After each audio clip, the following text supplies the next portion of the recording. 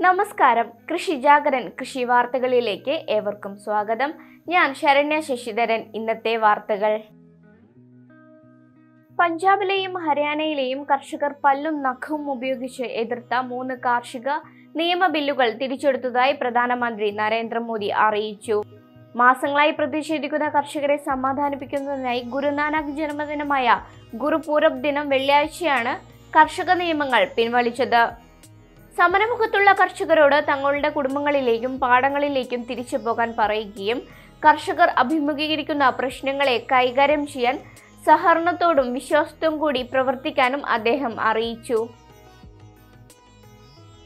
കാർഷികവുമായി ബന്ധപ്പെട്ടിരിക്കുന്ന കർഷകരെയും വ്യവസായങ്ങളെയും കൂടുതൽ പ്രവർത്തനക്ഷമത ഉള്ളതും സുസ്ഥിരമായതുമാക്കാൻ വേണ്ടി പുതിയ ഇന്റർനെറ്റ് അധിഷ്ഠിത ഉൽപ്പന്നങ്ങൾ കൊണ്ടുവരാൻ ബേയറും മൈക്രോസോഫ്റ്റും കൈകോർക്കുന്നു. കാർഷിക ബിസിനസ്സുകൾക്കും ബന്ധപ്പെട്ട വ്യവസായങ്ങൾക്ക് വേണ്ടിയുള്ള ഡിജിറ്റൽ ടൂൾസും ഡേറ്റ സയൻസ് മികവും വികസിപ്പിച്ചെടുക്കാനാണ് യു എസ് സോഫ്റ്റ്വെയർ ഭീമനുമായിട്ട് ഇവർ കൈകോർത്തിട്ടുള്ളത്. കാർഷിക വികസന കർഷക ക്ഷേമ വകുപ്പ് രാഷ്ട്രീയ കൃഷി വികാസ് യോജന പദ്ധതി പ്രകാരം ചെറുകിട കൂൺ ഉൽപാദനം ഹൈടെക് കൂൺ കൃഷി കൂൺ സംസ്കരണം കൂൺ വിത്തുൽപാദന യൂണിറ്റുകൾ എന്നിവയ്ക്ക് നാൽപ്പത് ശതമാനം സബ്സിഡിയും മണ്ണിന കമ്പോസ്റ്റ് യൂണിറ്റുകൾക്ക് അൻപത് ശതമാനം സബ്സിഡിയും അനുവദിക്കുന്നു.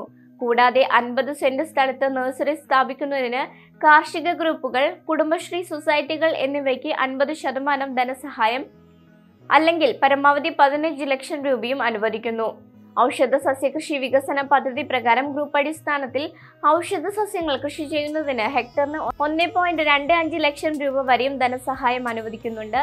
താല്പര്യമുള്ള തൃശൂർ ജില്ലയിലെ കർഷകരും ഗ്രൂപ്പുകളും അതതു സ്ഥലത്തെ കൃഷിഭവനുമായോ അല്ലെങ്കിൽ എൺപത് എൺപത്തി ആറ് അറുപത് അറുപത്തിനാല് മുപ്പത്തിനാല് എന്ന ഫോൺ നമ്പറുമായോ ബന്ധപ്പെടണമെന്ന് തൃശൂർ പ്രിൻസിപ്പൽ കൃഷി ഓഫീസർ അറിയിച്ചു. ആലപ്പുഴ ജില്ലയിലെ സുഭിക്ഷ കേരളം പദ്ധതിയുടെ ഭാഗമായി കാർഷിക വികസന കർഷക ക്ഷേമ വകുപ്പ് നടപ്പിലാക്കുന്ന ഫലവൃക്ഷത്തൈ നടീലിന്റെ ആലപ്പുഴ കളക്ട്രേറ്റിലെ പ്രവർത്തനങ്ങൾ കൃഷിമന്ത്രി പി പ്രസാദ് ഉദ്ഘാടനം ചെയ്തു. പദ്ധതി ഊർജിതമായി നടപ്പിലാക്കാനാണ് സർക്കാർ ലക്ഷ്യമിടുന്നതെന്നും സാധ്യമായ സ്ഥലങ്ങളിലെല്ലാം ഫലവൃക്ഷ തൈകൾ നട്ടുവളർത്താൻ ജനങ്ങൾ തയ്യാറാകണമെന്നും മന്ത്രി പറഞ്ഞു. ഭക്ഷ്യ ഭദ്രത ലക്ഷ്യമിട്ടാണ് സുഭിക്ഷ കേരള പദ്ധതിക്ക് തുടക്കം കുറിച്ചിട്ടുള്ളത്.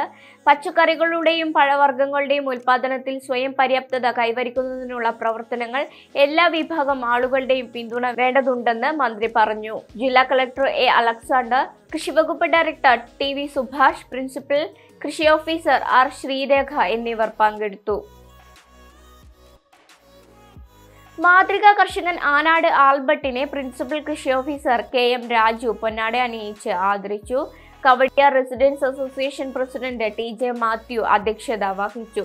കൃഷി assistant director Jyothi A F O Girija assistant കൃഷി ഓഫീസർമാരായ ഹരീന്ദ്രനാഥ് കെ ജി ബിനുലാൽ ആനാട് കൃഷി ഓഫീസർ എസ് ജയകുമാർ മീനാങ്കൽ നിംബു തുടങ്ങിയവർ പങ്കെടുത്തു.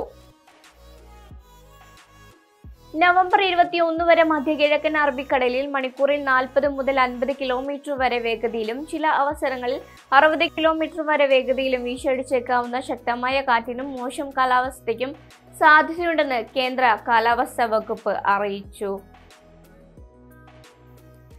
ഇതോടെ ഇന്നത്തെ വാർത്തകൾ അവസാനിച്ചിരിക്കുന്നു. കൂടുതൽ വാർത്തകൾ അറിയാൻ ഞങ്ങളുടെ ചാനൽ കാണുക. നാളെ കാണുന്നത് വരെ നന്ദി. നമസ്കാരം.